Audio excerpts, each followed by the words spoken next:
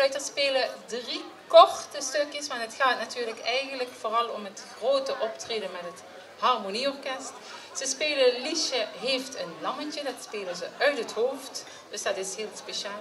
Daarna spelen ze Alles blij maakt de mei en ze sluiten af met Nasi Goreng. En daarna gaan ze verder met het grote optreden met het harmonieorkest.